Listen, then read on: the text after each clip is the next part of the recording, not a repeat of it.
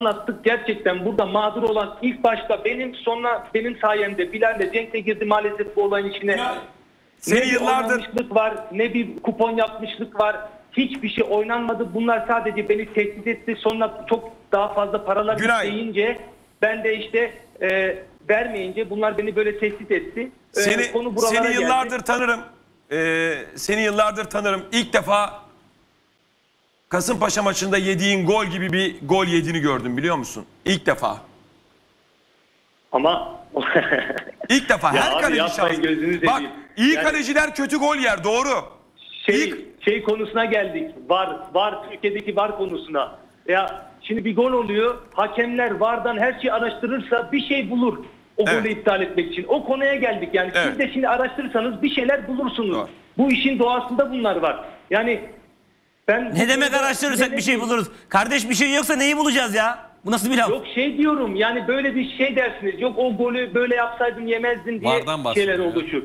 O yüzden yani ben gerçekten bak e, Cenk de çıktı yemin etti. O yüzden ben de dedim Cenk yemin ettiyse ben de üstüne yemin edeyim. Benim iki buçuk üç yaşında bir çocuğum var ellerinizden öper. Benim hanımım Allah tekrar bağışlasın. hamile. Allah bağışlasın, İkinci kez baba olacağım.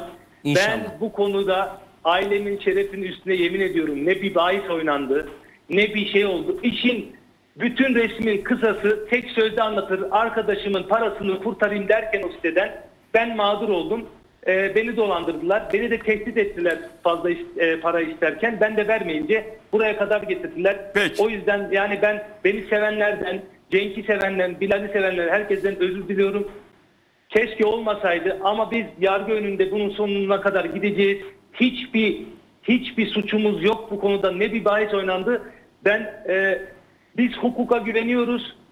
Bizim hiçbir suçumuz yok. Gerçekten dediğim gibi Ertem abi de tanıdım. Sizin programı da izlemişliğim vardır. Siz de işinizi yaptınız. Bunu da biliyoruz. Yapmak zorundasınız. Ama ben burada açık açık söylüyorum. Biz işbirliği yapmadık. şey Biz işi araştırdık. Hayır İş- işbirliği. işinizi yaptınız. İşinizi Heh, yaptı diyor. Pardon.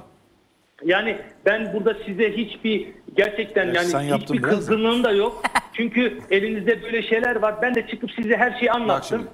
Günay, Ee, inşallah sana bana bir soru soracağım. Ben hukuka inanıyorum. Günay son Öyle soru. Son sorumu soruyorum. Efendim Elini vicdanına koy lütfen öyle cevap ver. koydum. Bir kulüp başkanısın. Fenerbahçe, Galatasaray, Beşiktaş ya da Trabzon. Ekranda gördüğün şu üç futbolcuyu gelecek sezon transfer eder misin? Ederim.